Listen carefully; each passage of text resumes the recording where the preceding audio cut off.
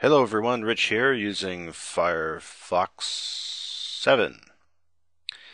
One of the features that's been in Firefox, I believe this has been around since Firefox 4, is something that not enough people use that I think they should, called tab groups. Now if you have more than one tab open, you'll see this button all the way on the right side here, which is group your tabs. If you click it, it does this. If you click it again, it goes back. Or you just click whatever window you want to go to and it will go there. And it also shows the other tabs currently in that group. Now, the cool thing about tab groups is that you can have as many as you want and group them up. That's the whole point. So if I open another tab here, and I'll just go to PC Mech,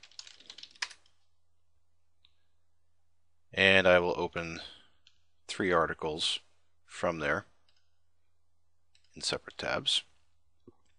Okay, so I have the main page, this article, this article, and this article. My tab bar at this point is starting to get a bit cluttered up.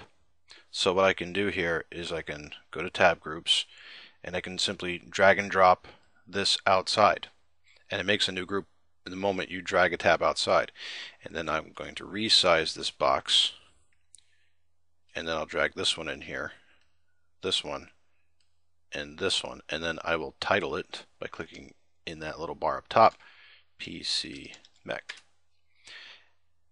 And I can resize this box to be really small or really big. If you go small enough, you'll notice it changes into this. And then you can just expand it by going like that by clicking the little four arrow, four arrow button here, but we'll just keep it like this and I'll go ahead and resize this one down. And yes, you can move them around. You can put them over one another and overlap and so on. So it works out very nicely. Now, uh, what happens at this point is if I go into this group, it only has three tabs because there are only three tabs in that group. If I go into this one, there's the four tabs. It works out very nicely. So uh, I think it's a fantastic and very underrated feature of the Firefox browser. So if you happen to be a die-hard Firefox fan, like I am, no offense to people using Chrome or IE or Opera, but this is just a great feature. And it's built in. There's no add-on or extension to put in. You can go right in and start using it.